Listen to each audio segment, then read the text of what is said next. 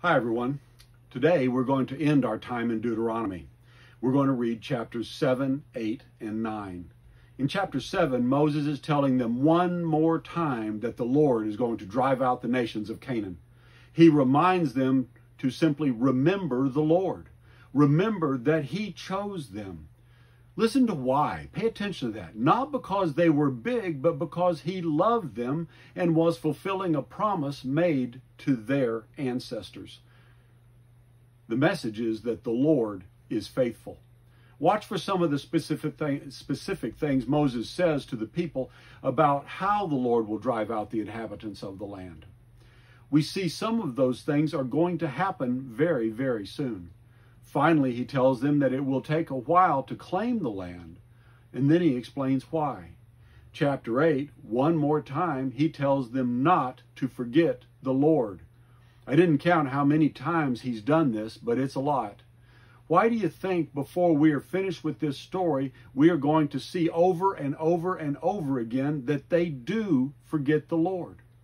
Hebrews chapter 2 starts off with a chilling admonition hold on tightly lest you slip away. That's what he's worried about. This is a key element of this story, one we need to see and not forget. Chapter 9 raises another key point. It is not because of their righteousness that the Lord is giving the land of Canaan to them. Do you remember Genesis 15, 16? It says, In the fourth generation, your descendants, God talking to Abraham, will come back here, for the sin of the Amorites has not yet reached its full measure. The Amorites representing Canaan. The Amorites were uh, a very sinful nation. And at this time, the Lord has decided they their sin has reached the point that he is going to punish them. So Moses has told them to remember the Lord, remember the Lord, don't forget the Lord. So what does he now remind them of? The event with the golden calf.